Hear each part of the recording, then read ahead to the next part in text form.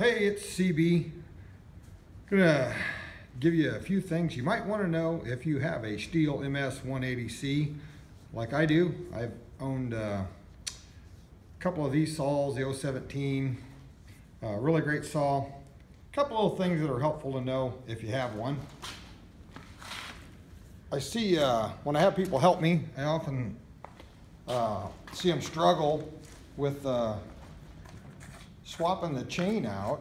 Um, it's really easy to do. You unscrew that, and if you screw this back until the chain is really loose, walk it right off the nose first. I have an old hand cleaner thing that I keep chains in. People uh, say, oh, don't they get all tangled up? I put them in there with a little bit of uh, PB Blaster or something of that nature, and I don't have any problem. Again, make sure it's facing the right way. Get it over the nose. Walk it back over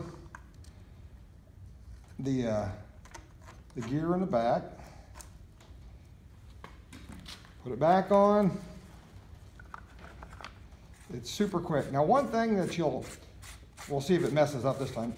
When you go to tighten it down, if you have a gap right there, don't tighten it more. Do your adjuster till it pops, it drops the tooth in on the inside. Then you can tighten it down. Check your chain, lift up on the bar. Make sure you got a little bit of play there. Tighten it down and you're ready to go.